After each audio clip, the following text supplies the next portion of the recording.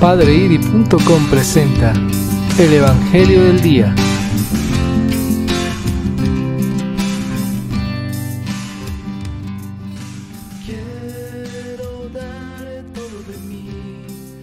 Del Evangelio según San Mateo. Se acercó Pedro y le preguntó a Jesús, Señor, ¿cuántas veces tendré que perdonar a mi hermano las ofensas que me hagan? ¿Hasta siete veces? Jesús le respondió, no te digo hasta siete veces, sino hasta setenta veces siete.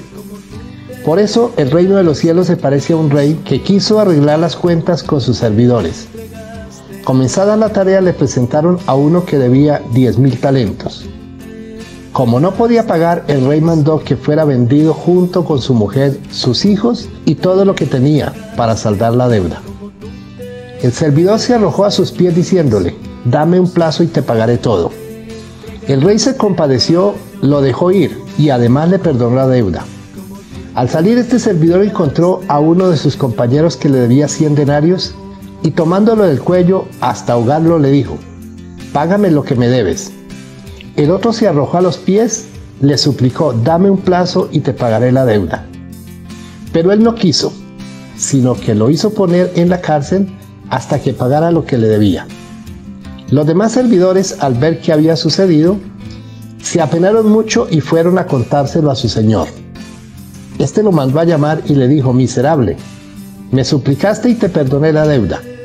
¿No debías tú tener compasión de tu compañero como yo me compadecí de ti? E indignado el rey lo entregó en manos de los verdugos hasta que pagara todo lo que debía. Lo mismo hará mi Padre Celestial con ustedes, si no perdonan de corazón a sus hermanos. Cuando Jesús terminó de decir estas palabras, dejó Galilea, fue al territorio de Judea más allá del Jordán. Palabra del Señor. Gloria a ti, Señor Jesús. Mis apreciados hermanos, en el Evangelio de hoy el asunto central es el perdón y la reconciliación.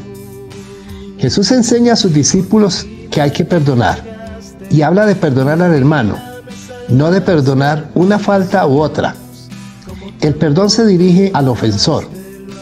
Por eso, no depende del tipo de falta, ni existe una graduación según la gravedad. No se puede perdonar más o menos, o sí o no. Muchas veces es difícil perdonar. Por eso la parábola nos hace volver la mirada hacia la misericordia de Dios. El que es pura santidad perdona infinitamente. Nos da la oportunidad de volver a empezar al abandonarnos en su gracia, seremos capaces entonces de perdonar las ofensas que nos haga el prójimo. Ahora bien, perdonar es toda la vida, especialmente perdonar como Jesús nos enseña, perdonar por amor.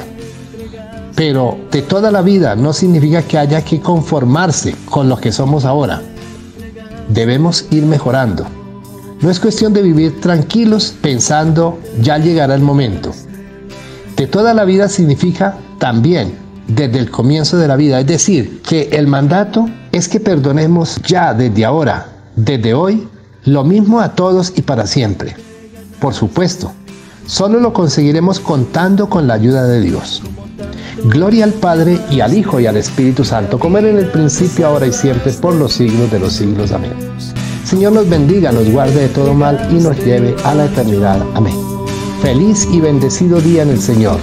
La Santísima Virgen María nos acompaña. Paz y bien para todos.